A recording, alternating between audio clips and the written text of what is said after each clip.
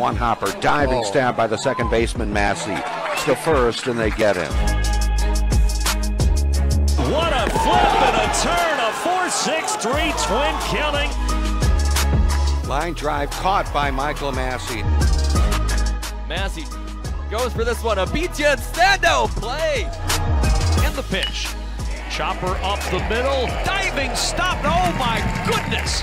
What a play by Massey. Ojo Haggy out of the ninth spot. Diving stop by Michael Massey to complete the out. Well done at second base from the Illini infielder.